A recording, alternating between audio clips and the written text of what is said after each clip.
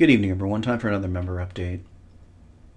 This is the Dow 30, as Andy Hoffman calls it, the Dow propaganda average. Um, I think it's going to become very clear with this update that that's exactly what this is. Now, I pointed out the presidential cycles before. Um, it's kind of been going on since the last three uh, two term presidencies. Um, we get a, a, president on his way out, and as he's on his way out, uh, the market just completely collapses. And, um, you know, he can point to the uncertainty of, w- of what's going to happen next, or, you know, not on my watch, it wasn't my fault, sort of thing. Blame the last guy, whatever it is. Uh, it's the same pattern. Um, but you can see that we have uh, the wealth effect now going into reverse. And uh, we have this startling interview with uh, former Fed official Richard Fisher. Um, just, I mean, the tone of the interview to me was shocking because he's just kind of casually saying, Yeah, yeah, it's all fake. Um, we goosed it up just to create an effect, a wealth effect, but that's pretty much over now. So um, get ready for it to go down big time. Um, so let's uh, let's listen to the interview. This is an interview with Richard Fisher, and uh, he's a former president and CEO of the Federal Reserve Bank of Dallas. And you can see he retired in 2015. So he's retired now. He's just kind of coming out and telling us, uh, well, that's what happens. And he, you can see he was at uh, the Admiral Farragut Academy, went to the United States Naval Academy in Annapolis. Um, so he's obviously insider connected. Here you go, Wall Street, Brown Brothers Harriman, uh, former assistant. So completely connected. But what's really shocking to me about this interview is how he it's almost like he's being a scapegoat for the Obama administration or whatever. Uh, just the way he kind of casually says, "Yeah, that's uh, yeah, that's what's happening." So let's uh, listen to the interview. I'm going to comment a little bit uh, and stop it, but I just wanted to hear this interview because it, it was really shocking for me to listen to this. I'll just start playing it here.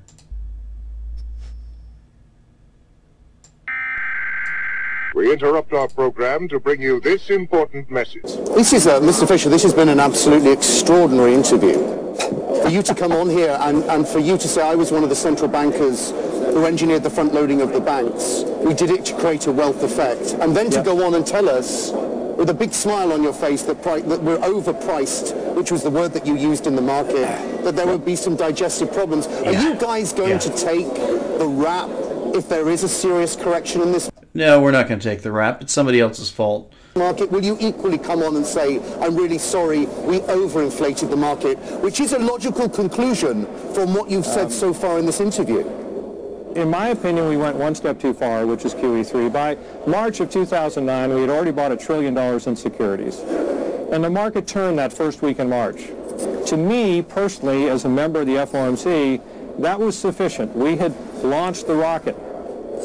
So I was against it. Of course, we have a you know we have uh, our committee meetings. We keep all the no, uh, the minutes as secrets. We don't release those to the public, so you can't actually see what we're doing while we're doing it. But uh, now I'm going to come back after I've retired and kind of admit to you, yeah, I, I was against it, but mm, yeah, that's what they wanted to do. And yet we piled on with QE3, understandably worrying, the majority did at least, that we might slide backwards. Uh, so I think you have to be careful here and frank about what drove the markets.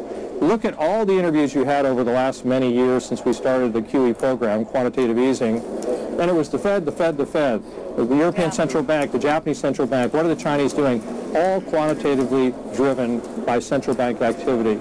That's not the way markets should be working. They should be working on their own animal spirits, but they were juiced up by the central banks, including the Federal Reserve, even though some of us would not support QE3. So it wasn't my fault. I, was against it, and uh, they did it against my advice.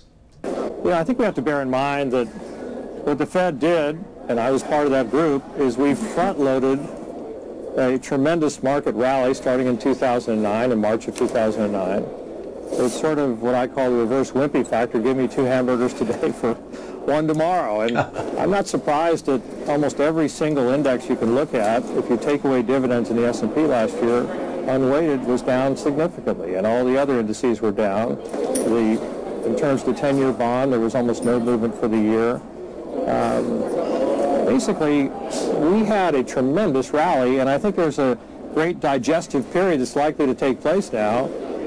So we're going to have a great digestive period. That's kind of a, a code word uh, we can say for um, a bear market. Is this a let me get the arrows here. Was this a digestive period here? Well, it's not going to let me add an arrow, but you can see here.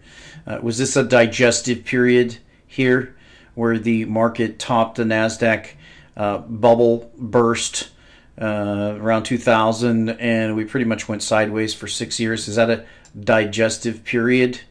Um, so we're going to come back down to around here, uh, lose about maybe, say, a couple trillion in market cap. Um, looks like that's what he's saying. So let's look at this term they used here. It's called wealth effect. And uh, they're telling us that, uh, well, let's read the definition here. The wealth effect is the change in spending that accompanies a change in perceived wealth. In other words, it's a con game. Usually the wealth effect is positive, spending changes in the same direction as perceived wealth. The effect on individuals changes in a consumer's wealth causes changes in the amounts and distribution of his or her consumption. People typically spend more overall when one of two things is true when people actually are richer objectively, or when people perceive themselves to be richer. For example, the assessed value of their home increases, or a stock they own goes up in price. So, uh, that's what they're talking about when they call call this a, a wealth effect. Um, it's just uh, shocking to me that they can be this frank. We have um, the beginning of a new year. We get back to back record losses as soon as the new year comes around, and this is everything that we had been expecting. Uh, that the markets are rigged. Now they're just coming out right in your face and admitting, yeah, we pretty much propped everything up for about eight years, and now it's time to let it collapse. And it may continue because, again, we front loaded at the Federal Reserve an enormous rally in order to accomplish a wealth effect. So I wouldn't be surprised at what's happening. I wouldn't blame it on China. We're always looking for excuses. China's going through a transition. It'll take a while to affect itself. But what's new there? There's no news there well, I mean, a seven percent plunge in their market was, is a scary thing to wake up yeah, to. Bear, bear in mind, we got we got to. You know, I've been going to China since 1979. I was part. Oh, what? You've been going to China since 1979? The group that negotiated with Deng Xiaoping the normalization of our commercial claims against each other and closed that deal on March 1st of 1979. So I think I've got a little bit of experience in China. I invested in China for quite a period with my fund in the B shares market. You have to remember, Shenzhen, Shanghai are basically domestic markets. They're trying to manipulate those markets as much as possible. Jim Cramer was right on this morning in terms of the force that they use to prevent real animal spirits from emerging. Well, I guess then the question, Wait, so he, he's endorsing Jim Cramer for criticizing the Chinese for artificially propping up their markets and goosing their stock markets, but yet he's admitting that that's what the Federal Reserve has done to U.S. markets for the last eight years. This is one of the most incredibly uh, proud, uh, just really like a lunatic. These people, uh, the way they act, uh, they they literally they have no shame. Um, they, they, it's it's like they have no conscience whatsoever. That they can come right out and and just admit that they've been lying for years. Is how ugly is it going to get? There was a point yesterday where the Dow was down 467 and everyone was trying how to figure out. How ugly is he going to get? He's point, laughing. Why does the Chinese stock market really affect us? If you do see this as this big unwind from Fed policy, which fueled what a six and a half year bull market, what does it That's look right. like on the way down? Well, I was warning my colleagues, don't go wobbly if we have a 10 to 20% correction at some point. The market's still overpriced. Everybody you talk to uh, the, all morning long from Byron on have been warning that these markets are heavily priced. We're trading at 19 and a half times earnings. We're not having the kind of top line growth we would like to have. We're late in the cycle. Things are richly priced. Uh, when have they been warning about that? I haven't heard anybody talking about how the market has been richly priced over the last eight years. All of a sudden, this guy comes out when there's a new year and he tells you, oh, yeah, we've been telling you for a long time. I mean, this is like Orwell now. I mean, these people, you know, it, these are the kind of people that make sure that the Wayback Machine doesn't have a cache page of what they said so that uh, they can kind of rewrite history. Uh, all the managers that I talk to in my role at Barclays, and that's quite a few across the world, a lot of people are building cash positions. Uh, the, the, rates traders are different, but I'm talking about the long-only investors or those that are taking a longer-term view are being extremely cautious here, are raising their cash levels, are nervous about the valuations that are in the market, and they realize the old dictum from Ben Graham and Warren Buffett, price is what you pay, value is what you get, and the values are very richly priced here. So I could see significant downside. I could also see just a flat market for quite some time, again, digesting that enormous return the Fed engineered uh, for almost six years. First of all, I don't think there can be much more accommodation. The, the Federal Reserve is a giant weapon that has no ammunition left. That's a Fed guy saying that. Did you hear that? Federal Reserve is a giant weapon that has no ammunition left. So what I, what I do worry about is it was the Fed, the Fed, the Fed, the Fed. For, for half of my tenure, which was a decade there, everybody was looking for the Fed to float all boats. And they, in my opinion, they got lazy.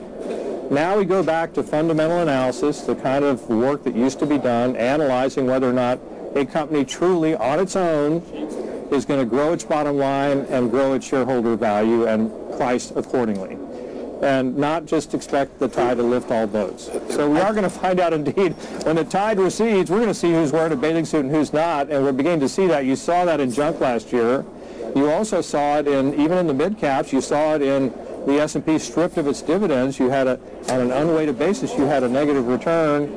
The only asset that really returned anything last year, again, if you take away dividends, believe it or not, was cash. It's 0.1%. Yes. That's a very unusual circumstance.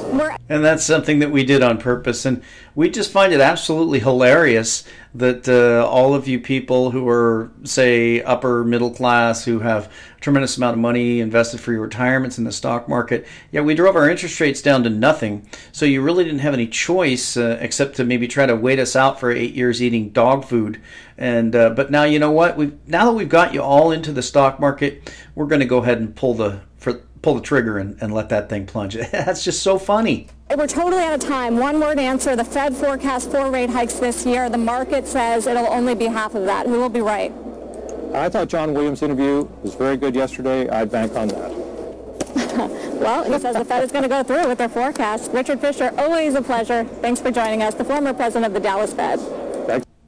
Well, there you go. Um, that's right from the horse's mouth. Uh, they planned this. They've had this planned from the very beginning. I, have told you about these presidential cycles. Um, it's all about, uh, well, it's not my fault. Um, you know, the animal spirits drove it there. Uh, the market just became overvalued. Um, I'm not. I'm not sure why people were so foolish to be buying, you know, all the way up. But uh, it's, it's going to plunge. It's going to have to digest for we don't know how long. Isn't that funny? Yeah. So that's absolutely shocking. Uh, this is an article about uh, the Dow versus the S&P and who's the king of the market. We can see here that the S&P has this was in 2013. At that time, the S&P had roughly a 14 trillion dollar market cap, whereas the Dow 30 had about a 4.25 trillion dollar market cap. Now. Uh, it's probably quite a bit higher because um, you know in 2013 we were around um, about, about 13,000, 12, 13,000. So it, it's going to be maybe six or seven trillion on the Dow, and and possibly you know even 20 trillion is on the S&P 500. But so we're looking at losing anywhere from two to 10 trillion dollars in in uh, wealth. But again, that was just a wealth effect. That was just uh, that was just us at the Federal Reserve uh, convincing you that you were wealthy when you really weren't. Um, it was just uh, fake money that we printed up. And uh, so now, when the, the new election cycle's coming up here, we, we decided we're just going to pull the plug and uh, we're going to let this thing collapse.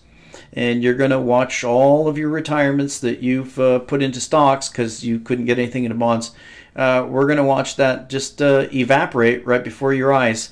And it, it, it's really quite hilarious. We'll talk to you next time.